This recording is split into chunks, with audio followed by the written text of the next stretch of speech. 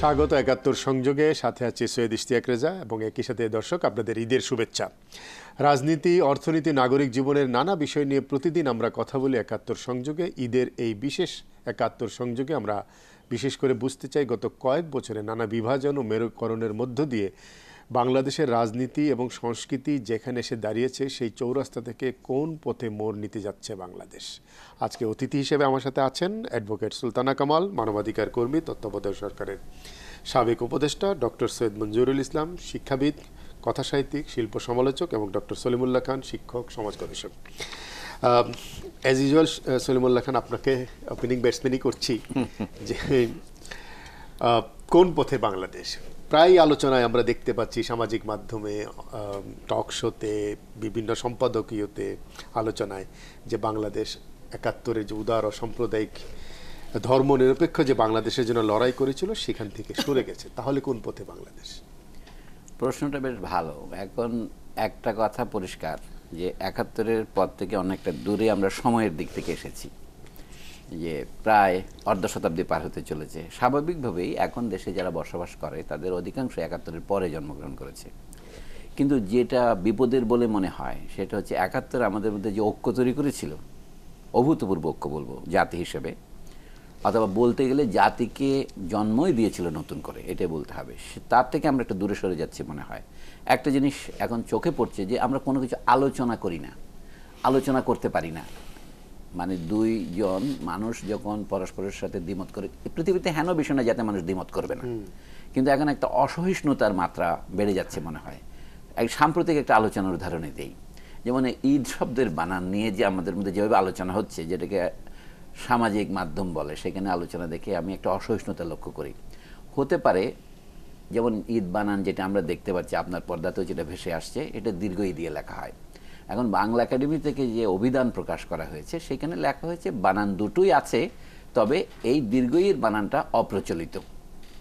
আর ভালো বানান হচ্ছে রসই দিয়ে লেখা। সেটা কিন্তু তথ্য হিসেবে সঠিক নয়। অর্থাৎ নতুন বানান প্রবর্তন করা যেতেই পারে। কারণ, বলা হচ্ছে, কারণ কি? এটা বিদেশি শব্দ। এই জায়গাতে সমস্যাটা হচ্ছে। এত বছর ধরে বাংলাদেশে চালু থাকার পরেও ঈদ শব্দকে বিদেশি বলা হচ্ছে, যেটা আরবি উৎপত্তি। এবং আরবিতে যেভাবে লেখা হয়েছে তার একটা বার্না প্রতিবর্ণীকরণ। অন্তত আমি বলব অষ্টাদশ শতাব্দী থেকে চালু হয়েছে। এইটা এর আগের কথা আমি জানি না। যেমন ধরুন রাজা রামমোহন রায় যে বাংলা ব্যাকরণ লিখেছিলেন একটা উদাহরণ দিচ্ছি আমি।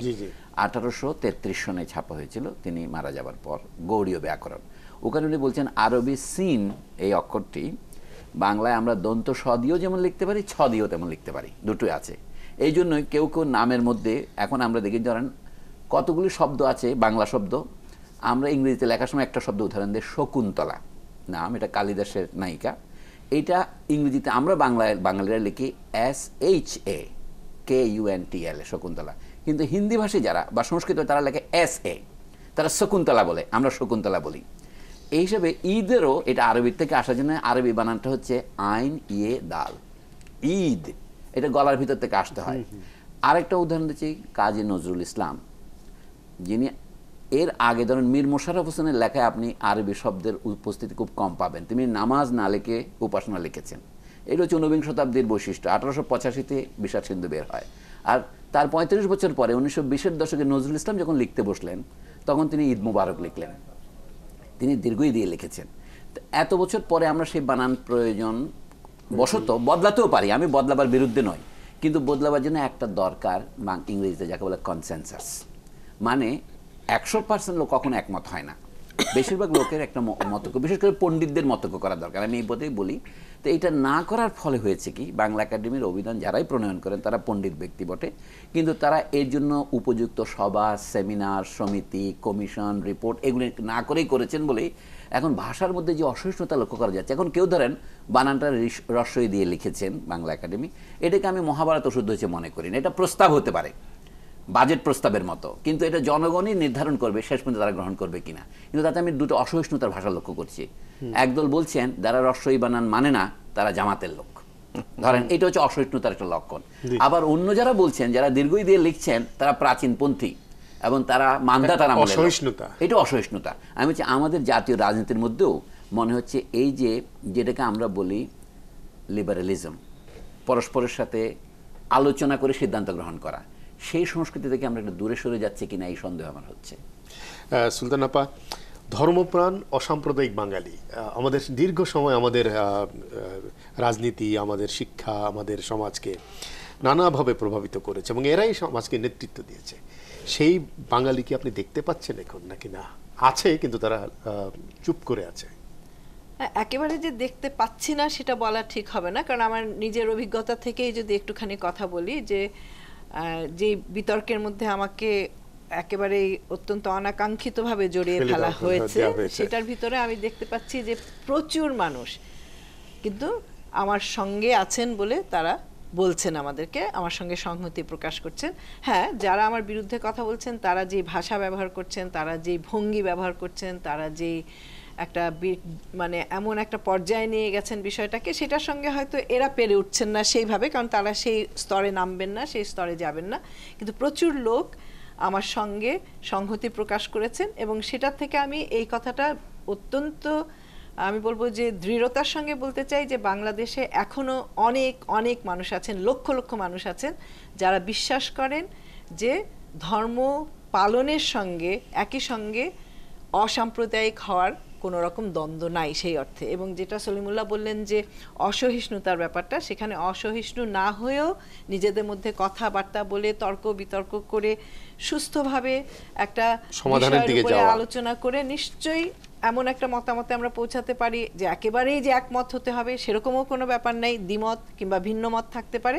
কিন্তু সেটা যার যার অবস্থানকে অন্য অবস্থান থেকে সম্মানের চোখে দেখার যে বিষয়টা রয়েছে, সেটা কিন্তু খুবই গুরুত্বপূর্ণ। এবং আমি বিশ্বাস করি যে বাংলাদেশের আবহমান যে সংস্কৃতি, বাংলাদেশের সারা মানুষ, সাধারণ মানুষ যেটাতে বিশ্বাস করে গেছে সবসময়, সেই সংস্কৃতির সঙ্গে কিন্তু এই সংস্কৃতির অনেক বেশি মিল আছে। আমি একটা ছোট্ট উদাহরণ দিই, ইদানিংকালে আমাকে এটা খুব মানে কি বলব যে আলোড়িত করল। গতকালই বোধহয় আপনাদের চ্যানেলেই দেখলাম যে সৌদি আরব থেকে কাতারের উট এবং অন্যান্য যে কি বলে। সেটা বার করে দেওয়া হচ্ছে। মানে অসহিষ্ণুতার পর্যায়টা কোথায় গেছে? এবং সেটাই যদি আমরা মনে করি যে এখন যেহেতু সৌদি আরবে এই ঘটনাটা ঘটেছে কাজে আমাদেরও এরকম অনেক ওইভাবেই করতে হবে। তো এটা হলে অসহিষ্ণুতাটা কোথা থেকে আসছে কীভাবে আসছে এবং কীভাবে ছড়িয়ে পড়ছে। মানুষের মধ্যে আমি একটা শব্দ যোগ করি। অসহিষ্ণুতা শব্দের অপর অর্থ হচ্ছে অসভ্যতা। কারণ আমরা সদস্য অর্থে সভ্য বলি। এক সভায় যখন আমরা বসি সভ্য মানেই হচ্ছে আলোচনা করা। আমি যদি সদস্য না হই সভ্য না হই তাহলে আলোচনা করব কি করে? এখন যেহেতু আলোচনাতে আমরা ইতি টানে দিচ্ছি এইটাকে এক অর্থে অসহিষ্ণুতা না বলে অসভ্যতা বলে কিন্তু মানে অতিরিক্ত হয় না। হ্যাঁ। আর শুধু একটা কথা এখানে যোগ করি সলিমুল্লাহর সঙ্গে যে যদি সেই সভ্যতার বিষয়টা আমাদের মধ্যে না থাকে তাহলে কিন্তু মানুষ যে সমাজবদ্ধ জীব সেই কথাটাই কিন্তু প্রশ্নবিদ্ধ হয়ে যায় যে সমাজবদ্ধ তাহলে আমরা কীভাবে হচ্ছি? কি ভিত্তিতে হচ্ছি? ডক্টর সৈয়দ মঞ্জুরুল ইসলাম আপনি দুজনের আলোচনা শুনছিলেন। আপনার দৃষ্টিভঙ্গি কি? অন্তত এই যে আমরা অসহিষ্ণু হয়ে উঠছি আমরা পিছনের দিকে হাঁটছি সবাই বলছি আসলে কি? কোন দিকে হাঁটছি? না পিছনের দিকে হাঁটছি সেটা বলতে পারব না আমি কারণ এগুলিও একটা জাতির পরিবর্তনের একটা ইঙ্গিত। আমাদের এটা অস্বীকার কোনো কোনো কোনো কারণ নেই যে আমরা অর্থনৈতিকভাবে এগোইনি আমরা প্রচুর এগিয়েছি। মানুষ ক্রম, ক্রমাগত স্বাবলম্বী হচ্ছে। এখন যার কিছু অভাব থাকে না, তাকে সমর্থন দিতে সংস্কৃতির প্রয়োজন হয়। যেমন দেখবেন তার তেমন কিছু করার নেই, সে একটু বই পড়ছে, সে একটু গান শুনছে। সংস্কৃতি তাকে একটা অবলম্বন হিসেবে নেওয়ার একটা উপায় থাকে এবং সংস্কৃতি তাকে ভব্য তৈরি করে। সদস্য যে কথাটা বললাম, এটার পিছনে কিন্তু সংস্কৃতির শক্তিটা আছে। আমি একজন শিক্ষক হিসেবে বলি যে আমাদের পড়ার সংস্কৃতি যেটা ছিল, সেটি লুপ্ত হয়ে গেছে। কেউ আর পড়তে উৎসাহ উৎসাহী না, সবাই দেখতে উৎসাহী। দেখার সংস্কৃতি খুব ক্ষণস্থায়ী হয় এবং তাতে অসহিষ্ণুতার বিষয়টা কিন্তু এই ক্ষণস্থায়িত্ব থেকে জন্ম নিয়েছে আমি মনে করি। আমরা সংস্কৃতির যে দীর্ঘ দৃষ্টি বা গভীর, গভীরতা প্রয়াসী একটা বিষয় থাকে, সেটি আমাদের এখন আর নেই, আমাদের হাত থেকে সেটি চলে গেছে। এই হলো একটা বিষয়। দ্বিতীয় হচ্ছে আমাদের রাজনীতি আমাদের এবং সমাজে, রাজনীতিতে এবং সমাজে অসহিষ্ণুতা এত বেড়েছে। এই যে ভাষার প্রসঙ্গ এলো, এতেই প্রমাণিত যে আমাদের আসলে সহিষ্ণুতা নেই। একটা ছোট উদাহরণ যেহেতু ঈদের কথা বলল।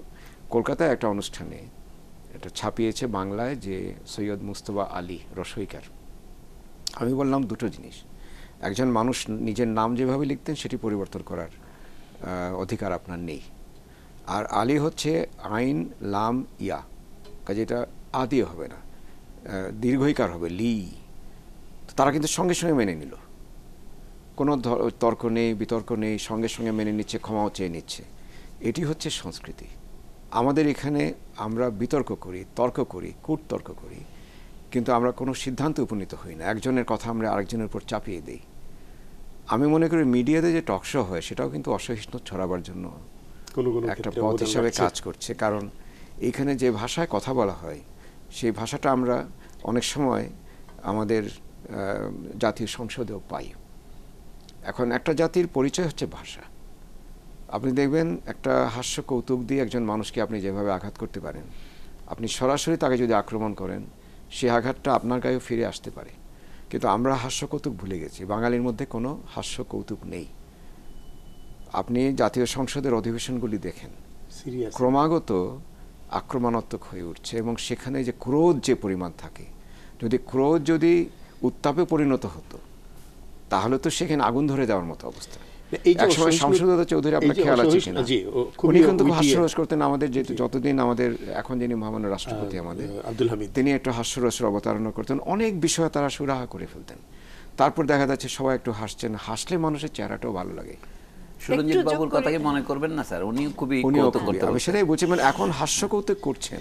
রাজনীতিতে ধর্মের ব্যবহারে কি অসহিষ্ণুতা আনছে ধর্মের ব্যবহার আমার মনে হয় যেটা একটু আগে সুলতান আপা বললেন যে আমি যদি ধর্ম প্রাণ হই যদি আমি সত্যি সত্যি ধর্মের অনুসারী হই তাহলে অসাম্প্রদায়িক হওয়াটা আমার জন্য উচিত হয়ে পড়ে। কারণ ধর্মের কোথাও লেখা নেই আমি ধর্মের নামে একজনকে আঘাত করব আরেকজনের অধিকার কেড়ে নেব বরঞ্চ উল্টো কথাগুলি বলা আছে যে আপনি প্রতিবেশীকে না খাইয়ে আপনি খাবেন না। আপনি একটা পয়সা পেলে ফুল কিনবেন ক্ষুধার অন্ন জুটাবেন, আরেকটা পয়সা পেলে ফুল কিনবেন। এগুলি তো আমাদের ছোটবেলা আমরা শিখেছি। এই এই শিখে শিখে আমরা দেখে এসেছি, আমাদের চারদিকে যারা ধর্মপ্রাণ ছিলেন, তারা খুবই আন্তরিক। তারা দরিদ্র মানুষের জন্য ভাবছেন যে রোজা মাসে আমরা ছোটবেলায় দেখতাম, আমাদের বাড়িতে এমন কেউ নেই, আমরা কিন্তু খুব যে অবস্থাপন্ন ছিলাম তা না। কিন্তু একজন দরিদ্র মানুষ এসছে, সে খেয়ে যাবে ইফতার। যেটুকু আছে আপনাকে ভাগ করতে হবে। এখন সেই দিক থেকে আমরা কোথায় চলে আসছি? আমরা লাখ, হাজার হাজার টাকার ইফতার কিনছি। অথচ বাড়ির পাশে যে ভিক্ষুক বসে আছে তার দিকে তাকাচ্ছি না। আমি বলছি, ধর্মের শুধু অনুশাসনগুলি প্রধান নয়, ধর্মের সঙ্গে আরও অনেক বিষয় জড়িত থাকে। আপনি অবশ্যই আপনি অনুশাসনগুলি পালন করবেন, কিন্তু পাশাপাশি আপনাকে পরিশুদ্ধ হতে হবে। এই শুদ্ধতা তৈরি করে মানুষের সহনশীলতার বিষয়টি, অন্যের প্রতি সহমর্মিতা, সেই জন্য এই বিষয়গুলি যদি আমরা গুরুত্ব না দিই, তাহলে শুধু আচার সর্বস্ব হয়ে পড়ব। আর আচার সর্বস্ব হলে আপনার সঙ্গে আমার টুকাটুকি লেগে যাবে। টুকাটুকি লাগার তো কথা নয়। না, আর অনুশাসনের কথা যেটা মঞ্জুর বলছেন, আমার মনে হয় যে ধর্মীয় অনুশাসনগুলি, আমি ছোটবেলা থেকে ধর্মকে যেভাবে দেখে এসেছি, বুঝে এসেছি সেই অনুশাসনগুলি তো এই জন্যেই দেয়া হয়েছে যাতে আমার দ্বারা অন্য কোনো ব্যক্তি ক্ষতিগ্রস্ত না হয়। অন্যের অধিকার ক্ষুণ্ণ না হয়। অন্যের উপরে আমি কোনো রকম ভাবে আমার কিছু চাপিয়ে দেওয়ার চেষ্টা না করি। সেই জন্যই তো হ্যাঁ অনুশাসন আপনি পাঁচবার নামাজ হ্যাঁ। পড়ছেন। আপনি পাঁচবার পরিশুদ্ধ হচ্ছেন। হ্যাঁ।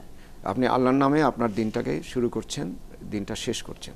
এই ব্যক্তি তো আরেকজনের ক্ষতি করার কথা কোনো কথা না। এই ব্যক্তির হাত থেকে প্রত্যেক ধর্মেই তো সেই কথাগুলি বারবার বলা হয়েছে যে অন্যের ক্ষতি করো না মিথ্যা কথা বলো না। মিথ্যা আচরণ করো না। অন্যের উপরে নিজের সুনীতি চর্চা করো। এই সুনীতির অভাবটা আমাদের, যে। বিষয়গুলি ছিল সুনীতির অভাবটা আমাদের- আমরা। আলোচনায় ফিরবো একটা বিরতি থেকে। দর্শক আপনারা দেখছেন ঈদের বিশেষ একাত্তর সংযোগ একটা বিরতি সঙ্গে থাকুন।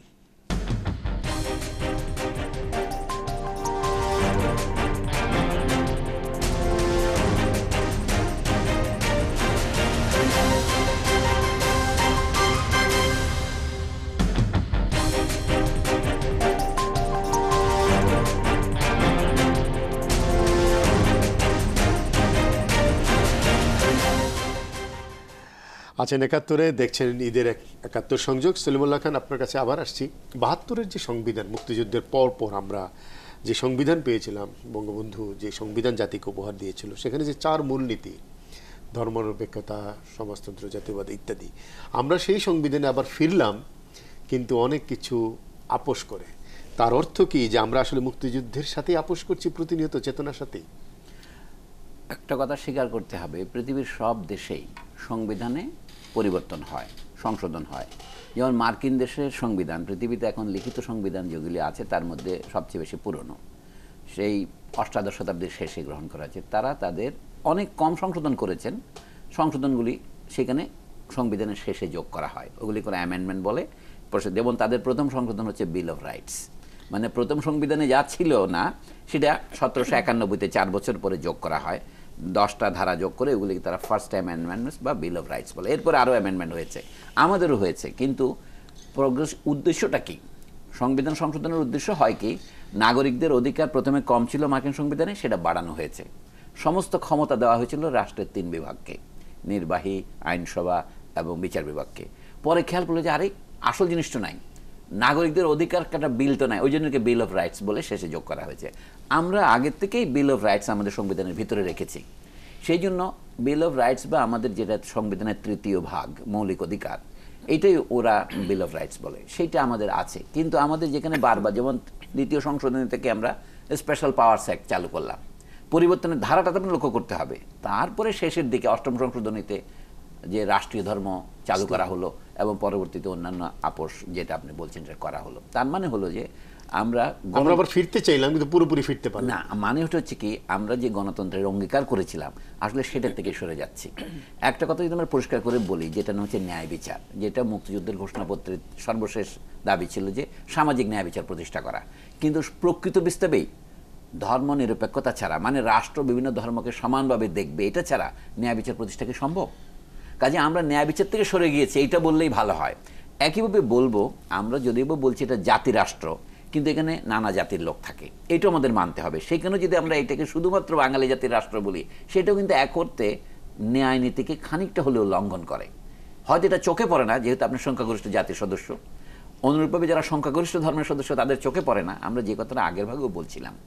আর সৈয়দ মঞ্জুরুল ইসলাম শুরুতে যেটা বললেন, যে বাড়ির পাশে ভিক্ষুক, এই কথাটা যখন আসে আপনি খেয়াল করেছেন আমাদের প্রধানমন্ত্রীর অফিসের সামনে লেখা হয়েছে, এই এলাকা ভিক্ষুক মুক্ত এখন। এখন ভিক্ষুক মুক্ত কোনো কোনো এলাকা করা হচ্ছে। যদি সবচেয়ে ভালো হতো, যদি সারা দেশটাকে আমরা ভিক্ষুক মুক্ত করতে পারতাম। আমি প্রগতিটা অস্বীকার করছি না, শুধু উদাহরণ দেই। প্রগতি কী ধরনের হয়েছে? ঊনবিংশ শতাব্দীতে কার্ল মার্কস, ক্যাপিটাল বই যিনি লিখেছেন, উনি বলছিলেন, আধুনিকতা কী জিনিস? উনি আধুনিকতা হচ্ছে সময় দিয়ে দেশকে লুপ্ত করে ফেলা। মানে আগে ধরেন, ইংল্যান্ড থেকে এখানে আসতে আপনার নৌকাপথে চার মাস লাগতো। স্টিম ইঞ্জিন হওয়ার সময় আপনি এক মাসের কমফর্মে আসতে পারেন। এটা হচ্ছে elimination of space by time আর এখন আমরা পড়েছি যে যুগটাকে পোস্ট মডার্ন যুগ বলা হয় এটা উল্টা বলা যেতে পারে। Elimination of elimination of time by space যেমন আমি একটা ক্ষুদ্র সিডির মধ্যেই আপনার এই প্রোগ্রামটা বারবার দেখতে পারি। আমি সামনে যেতে পারি আসতে যেতে পারি। তার মানে এখন সব হচ্ছে দর্শন সামগ্রী হয়ে দাঁড়িয়েছে। যেই জন্যটা আমরা বলছি মানুষের আচরণ বদলাচ্ছে এটা যেমন বলছি আমাদের টেকনোলজিও বদলাচ্ছে। আমাদের দেশ অগ্রসর হয়েছে অর্থনৈতিকভাবে এটা সত্য। রাজনৈতিকভাবে আমাদের সমানভাবে অগ্রসর হওয়ার কথা আমার প্রশ্নটা হচ্ছে ওই জায়গাতেই আমরা অর্থনৈতিকভাবে অগ্রসর হচ্ছি কারণ বিশ্বজনীন পরিবর্তনের মধ্যে আমরা পরিবর্তিত হচ্ছি। কিন্তু বিশ্বজনীন রাজনৈতিক সংস্কৃতির সাথে তাল মিলিয়ে আমাদেরও তো রাজনৈতিক সংস্কৃতি গণতান্ত্রিক হওয়া উচিত। সেই জায়গাতে আমরা পিছনে ফিরে যাচ্ছি। যে জন্য আমরা বলি ধরুন একটা কথাই বলি সমাজতন্ত্রের কথাটা আমরা কোথা থেকে পেয়েছিলাম? ওরে পড়ে পোয়া উড়ু খই গোবিন্দায় নম। মুক্তিযুদ্ধ করতে গিয়েছিলাম। অর্থাৎ মুক্তিযুদ্ধ করতে গিয়ে আমরা বুঝলাম দেশের সব মানুষকে একত্রীভূত করতে হলে সবাইকে কিছু পেতে হবে এই যুদ্ধ থেকে। সেইখান থেকেই সমাজতন্ত্রের অঙ্গীকারটা এসেছিল। সমাজতন্ত্র বলতে আমরা বুঝেছিলাম সার্বজনীন সাম্য। সামাজিক ন্যায় বিচার হ্যাঁ, এই- এইটা যদি কবি নজরুল ইসলামের কবিতা পড়েন গাহি সাম্যের গান মানুষের চেয়ে বড় কিছু। নয় নাহি কিছু মহিয়ান। সে কথা তো অ্যাবস্ট্রাক্টলি আমরা বলেছি কিন্তু মুক্তিযুদ্ধের মধ্য দিয়ে আমরা একটা উপ- একটা সুযোগ পেলাম। যে সবাইকে সমান মর্যাদা। করা যেতে পারে। আমি বলছি সেই জায়গা থেকে যদি আমরা সরে যাই তাহলে আপনি গণতন্ত্র রক্ষা করতে পারবেন না এবং ধর্মনিরপেক্ষতা রক্ষা করতে পারবেন না। এবং এই যখন আমরা বলি Bangladesh at cross Rhodes Bangladesh সন্ধিক্ষণে বাংলাদেশ তখন ধর্মভিত্তিক রাজনীতি রাজনীতিতে ধর্মের ব্যবহার আপনি কোনো রাজনৈতিক দলকে আর আলাদা করতে পারেন সুলতানা কামাল? এখন এখনকার বাংলাদেশে। দুঃখজনকভাবে বলতেই হয় যে আসলে এখন প্রত্যেকটি রাজনৈতিক দলই ধর্মকে ঘিরেই তাদের রাজনৈতিক চিন্তা ভাবনাগুলিকে সামনে নিয়ে আসার চেষ্টা করছে এবং তারা কোনো না কোনোভাবে নিজেদেরকে এই জায়গায় নিয়ে গেছে বিশ্বাস করতে যে সেটা যদি তারা না করে, তাহলে হয়তো সাধারণ মানুষের কাছে তারা পৌঁছতে পারবে না। তো এটার কারণে তারা সবাই মনে করছে যে ওই পথ দিয়েই তাদেরকে সাধারণ মানুষের কাছে পৌঁছতে হবে, সাধারণ মানুষের মন জয় করতে হবে, তাদের কাছ থেকে ভোট আদায় করতে হবে। তো সেটা যদি আপনার প্রথম প্রশ্নর কাছে যায় যে মুক্তিযুদ্ধ থেকে আমরা সরে গেছি কিনা, আমি অনেক সময় এই প্রশ্নটা করি যে রাজনৈতিক দলগুলি তাহলে কেন ভাবে না যে আমি যদি মুক্তিযুদ্ধের যে মৌলিক চিন্তাভাবনাগুলি ছিল, মৌলিক নীতিগুলি ছিল, সেটার থেকে যদি এক বিন্দুও সরি, তাহলে আমাকে জনগণ ভোট দেবে না। সেটা না ভেবে উল্টাটা কেন ভেবে চলেছে? হ্যাঁ এটা কিন্তু একটা বিরাট প্রশ্ন।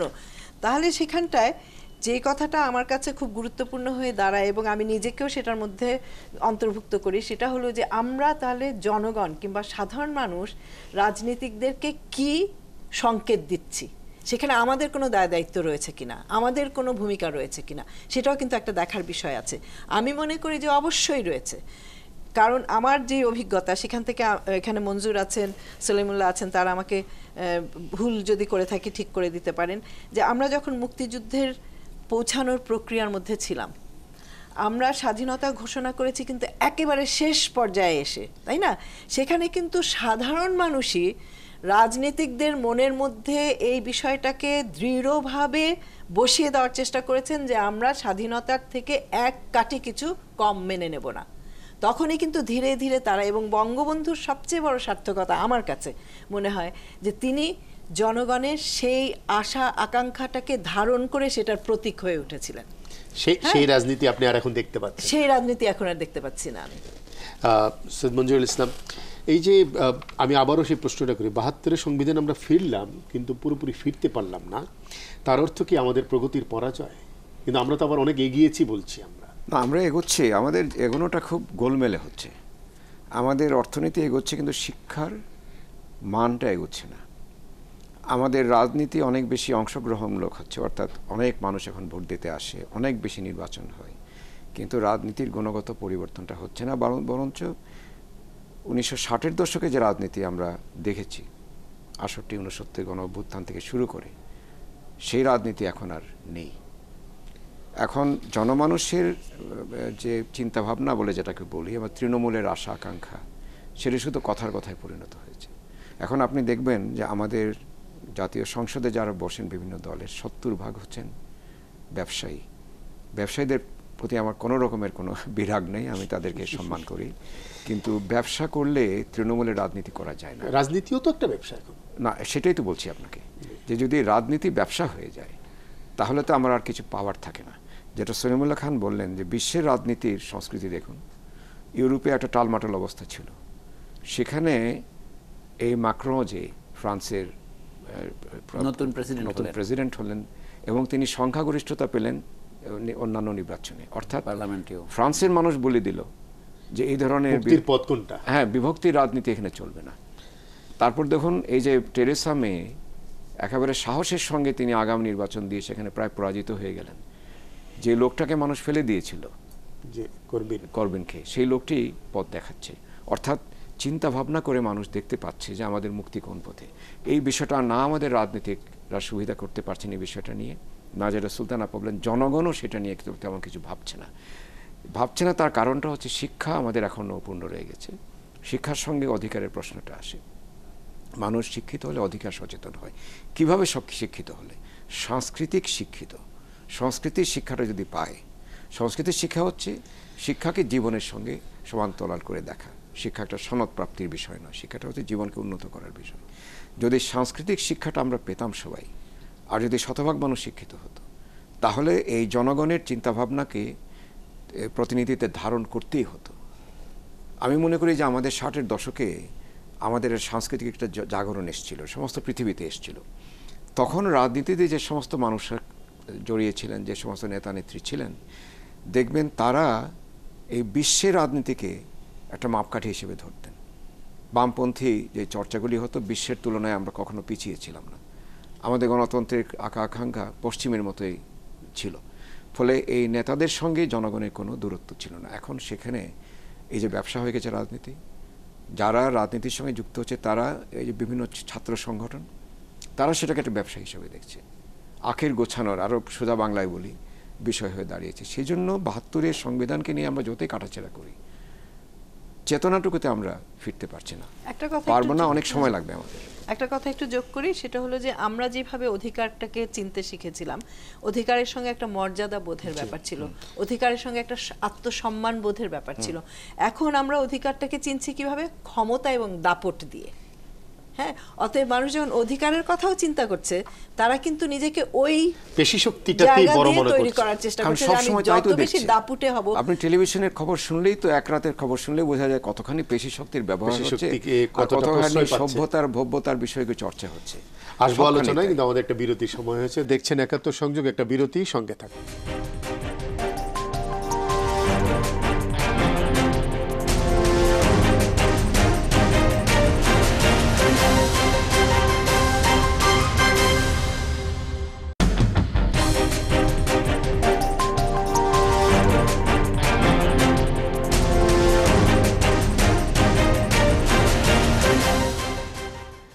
আরেকবার স্বাগত, একাত্তর সংযোগে। ডক্টর সলিমুল্লাহ খান, আমরা যখন অর্থনীতির এগিয়ে যাওয়ার কথা বলি, তখন আবার বলি আমরা পিছিয়েও যাচ্ছি, কারণ আমাদের মধ্যে বৈষম্য অনেক বেশি বেড়ে গেছে। এবং এই যে বৈষম্য, সেখানে বলা হচ্ছে যে দু হাজার বিশ সালের মধ্যে দেশের পঁচাশি ভাগ সম্পদ এক শতাংশের মানুষের কাছে চলে যাবে। তাহলে যে নিরানব্বই শতাংশ, তাদের ভাগ্যে যদি কিছুই না থাকে তখন তো সে এরকম অসহিষ্ণু আচরণই করবে। সে নানা কিছু নেতিবাচক ধারণার বশবর্তী হবে। আপনি কি বলেন? আমি একটা পেছনের কথা বলি। সেটা বলে বাইবেল একটা বিখ্যাত কথা আছে, আমরা প্রায় আওড়াই, যেটা বাংলা করলে দাঁড়ায়, মানুষ কেবল রুটিতে বাঁচিবে না। একটা জিনিস পরিষ্কার করা উচিত। Man does not live by bread alone তার অন্যান্য জিনিসও লাগবে। কিন্তু মানুষের আগে ব্রেড লাগবে, অর্থাৎ আমাদের দেশে ভাত লাগবে। সেই জন্য অর্থনৈতিক উন্নতি বলতে যেটা আমরা বোঝাচ্ছি, সেটার মধ্যে দুইটা মাত্রা আছে। দেশের মোট সম্পদ কত? চালের মজুদ কত? এটার উপর কিন্তু চালের বাজার নির্ভর করে। কাজে চালের মজুদ একবারে শূন্যের দিকে যাওয়া পর্যন্ত আপনি নতুন আমদানি লাইসেন্স আপনি দেবেন না, এটা কিন্তু প্রশাসন হিসেবে ভালো প্রশাসন নয়। উৎপাদনের দিক থেকে আমরা গত কয়েক বছর ধরে একটা আত্মসন্তুষ্টির ভাব দেখাচ্ছি যে আমাদের খাদ্য উৎপাদন এমন পর্যায়ে পৌঁছেছে যাকে স্বয়ং সম্পূর্ণতার কাছাকাছি বলা যেতে পারে। কিন্তু তাতেও মাঝে মাঝে দেখা যায় দেশে যখন একটা দুর্ভিক্ষ বা একটা বন্যা বা কোনো খাদ্যাভাব দেখা দেয় সমস্যা হয়। আগে আমাদের উত্তরবঙ্গে মঙ্গা হতো। এইগুলি থেকে আমরা এখন কিছুটা এগিয়ে এসেছি। এইটা ভালো খবর। কিন্তু যতক্ষণ পর্যন্ত না ফসলের বন্টনটা মানবিক না হয়, অর্থাৎ সব অঞ্চলে পৌঁছে হয়, তখন কিন্তু বিপদ থেকে আমরা উত্তরণ ঘটিয়েছি বলা যাবে না। ব্রিটিশ আমলের উদাহরণ দিই। ব্রিটিশ আমলে এন দশ বছর যায়নি, যখন একটা না একটা দুর্ভিক্ষ হয়নি। আচ্ছা তাহলে কেন দুর্ভিক্ষ হতো? তখন বলা হতো, বরিশালে চালের প্রাচুর্য এবং উপচে পড়ছে, কিন্তু দিনাজপুরে দুর্ভিক্ষ হতে পারে। যোগাযোগ ছিল না। সেই জন্য বলি, এখন আমাদের যে সমস্যা হচ্ছে সেটা ওই মাত্রার অতিরিক্ত। আরেকটা জিনিস লাগবে, রুটিতে মানুষ বাজবে না, মানুষের ন্যায় বিচারও লাগবে। দেশে অর্থনৈতিক উন্নতির মাত্রা যদি বর্তমান মার্কিন যুক্তরাষ্ট্র যেখানে আছে বা কাতার, সৌদি আরব যেখানে আছে, সেই কাজেও আমরা যাই। মানে জাতীয় মাথাপিছু আয়ের দিক থেকে। তবু অসন্তোষ, অশান্তি এবং অন্যায় থাকতে পারে। এই জন্য সার্বভৌমত্বের দুটো শর্ত। একটা হচ্ছে জনগণের ট্যাক্স আরেকটা হচ্ছে কি, জনগণ যেটা রাষ্ট্রের কাছ থেকে চায়, সেটা হচ্ছে ন্যায় বিচার। যেমন আগে রাজদরবারে যখন আমরা যেতাম পূর্ণ অনুষ্ঠান এখনও আছে পার্বত্য চট্টগ্রামে, দেখলে রাজাকে আমরা ভেট দেই, নজরানা দেই। অর্থাৎ রাজাকে যদি দেখলাম, তার জন্য পয়সা দিতে হয়, ধর্ষণের জন্য। রাজা যেটা দেন বিপরীত, ওটাকে বলে খেলা তিনি একটা আপনাকে চাদর দেবেন। এটা হচ্ছে পারস্পরিকতা, গিফট, এটা হচ্ছে বিনিময়। এখন বর্তমানে আমি বলব, মানুষ পরিশ্রম করছে বলেই, আমরা যে ভ্যাটের কথা বলছি ভ্যালু অ্যাডেড হচ্ছে বলেই তো জাতীয় উৎপাদন বাড়ছে। কিন্তু রাষ্ট্রের কাছ থেকে আমরা কি চাই? নিরাপত্তা চাই। এবং ন্যায় বিচার চাই। আমার মনে হচ্ছে আমাদের বর্তমান সমস্যার মধ্যে এই যে একটা পরিবর্তনের মধ্যে আমরা যাচ্ছি এটা ন্যায় বিচারের অভাব হয়েছে। সেটা আমি তো টেকনোলজিক্যাল ভিত্তির কথাটাই বলি। স্যারের কথাটা আমি ভালো করে শুনেছি যে আমরা একটা অর্থনৈতিকভাবে অগ্রগতির দিকে যাচ্ছি কিন্তু আমাদের শিক্ষা তার মানের সাথে মেলাতে পারছে না কেন? হ্যাঁ সেটা অবজারভেশন হিসেবে একেবারে সঠিক। একটা কথা বলি টেকনোলজির দিকটা দেওয়া লক্ষ্য করেন। আমরা এখন ধরেন এই অনুষ্ঠানগুলো কথায় কথায় আগে অনুষ্ঠানের একটা অরা ছিল। ধরেন আজকে দশ বছর আগে টেলিভিশন যখন আমি দেখতাম যে অনুষ্ঠানটা আমি মিস করতে পারব না। এখন যেহেতু আপনি এটা ইউটিউবে দিয়ে থাকেন আমি আবার ওটা দেখার জন্য আছি। ফলে এটার যে আমার যে অ্যাংজাইটি সেটা আর থাকছে না। এটাকে বলে কি? লস অফ অরা আধুনিকতার একটা বৈশিষ্ট্য হচ্ছে আপনি সেই মর্যাদাবোধ সম্ভ্রমবোধ হারিয়ে ফেলছেন। এখন সোশ্যাল মিডিয়া ইত্যাদির কারণে এই যে আমাদের ভাষায় অসহিষ্ণুতা আসছে। ধরুন বাংলা একাডেমির মহাপরিচালক সাহেব কতগুলো স্ট্যাটাস লেখেন। তার তেরো লাইনের মধ্যে সাতাশটা ভুল।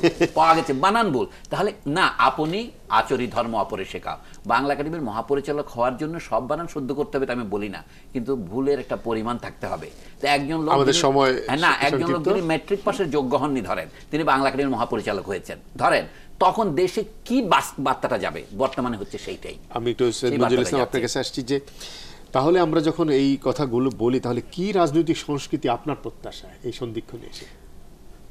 প্রথমটা হচ্ছে যে রাজনীতি কেন সেটি বুঝতে হবে। গণমানুষের অবস্থার পরিবর্তনের জন্য, ন্যায় বিচার প্রতিষ্ঠার জন্য। এবং যে ফারাকটা থেকে যায় সম্পদ এবং সম্পদের বন্টনে, মানুষের প্রত্যাশা এবং মানুষের প্রাপ্তিতে। এগুলি যাতে ক্রমান্বয়ে কমিয়ে আনা যায় সেই বিষয়টি। দারিদ্র আমি জানি যে দারিদ্র নজরুল বলছেন, আমাকে মহান করেছে ইত্যাদি, কিন্তু দারিদ্রের প্রকোপটা মানুষকে মহান করতে দেয় না। এটি মানুষকে ক্রমাগত কমিয়েছি কিন্তু দারিদ্রের বন্টনটা আমরা এখনও সমানভাবে কমিয়ে আনতে পারিনি। ফলে এই রাজনীতিটা হতে হবে গণমুখী তৃণমূলমুখী। আমি শুধু ঢাকায় বসে রাজনীতি করছি তা হবে না এবং ক্ষমতাকে টিকিয়ে রাখা বা ক্ষমতায় যাওয়ার জন্য রাজনীতি সেটি তো জনগণের পক্ষে যায় না। সেটি যদি করতে পারি তাহলে হচ্ছে রাজনৈতিক সংস্কৃতি হচ্ছে সকলকে নিয়ে একসঙ্গে বসা একসঙ্গে আলোচনা করে সমাধান করা সামগ্রিক আমি একটা কথা যোগ করি। সারা পৃথিবীতে আজকে প্রবণতা হচ্ছে যেটাকে আমরা ইংরেজিতে টর্চার বলি সেটা শূন্যতায় নেমে আসা। জাতিসংঘ প্রোটোকলে আমরা স্বাক্ষর করেছি আমরা করতে বাধ্য কারণ আমরা টর্চার করব না। কিন্তু শব্দটা আমরা ব্যবহার করি না। কিন্তু এনহ্যান্সড ইন্টারোগেশন কথার কথার আরও গুম হচ্ছে খুন হচ্ছে সেটা কি? আমরা যে একটা জিনিস শূন্য নিয়ে আসতে হবে সেটা কি? বিনা বিচারে হত্যা যতক্ষণ পর্যন্ত বন্ধ না হয় আপনি ততক্ষণ পর্যন্ত দেশে তো ন্যায় বিচার যখন ন্যায় বিচারের কথা যেটা আপনি বলেছেন। তখন এগুলি সব সমাধান হতে পারে সুলতানা কামাল আপনার কাছে আসছি। এই যে সন্ধিক্ষণের বাংলাদেশ বলছি আমরা বারবার বলছি যে ক্ষমতায় এমন এক রাজনৈতিক শক্তিকে দেখতে চাই এবং ক্ষমতার বাইরেও এক রাজনৈতিক শক্তিকে দেখতে চাই যাদের উভয়ের কাছে বাংলাদেশের মুক্তিযুদ্ধের মর্যাদা আছে। সেই রাজনীতির প্রত্যাশা আপনি কত কখন করেন? প্রত্যাশা তো প্রতিনিয়তই করছি। প্রত্যাশা থেকে তো আর সরে আসছি না, তবে কবে পাবো সেটা নিয়ে হয়তো প্রশ্ন থাকতে পারে।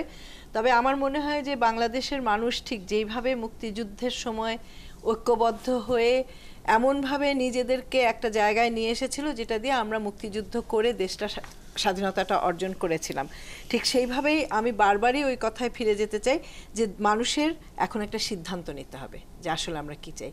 এবং দেশের সাধারণ মানুষ যখন সিদ্ধান্ত নিয়ে সেই সিদ্ধান্তর জন্য কাজ করবে প্রকৃত অর্থে বেরিয়ে আসবে, তখনই কিন্তু এই অবস্থার পরিবর্তন ঘটবে। আর আমি যেটা একটুখানি যোগ করি, সেটা হলো যে রাজনীতিতে যখন আমরা সংস্কৃতিকে পাবো এবং সংস্কৃতিতে যখন জনমানুষের রাজনীতিকে পাবো, তখনই কিন্তু এটার পরিবর্তন আপনাকে অসংখ্য ধন্যবাদ সুলতানা কামাল ধন্যবাদ ডক্টর সৈয়দ মঞ্জুরুল ইসলাম, ডক্টর সলিমুল্লাহ খান।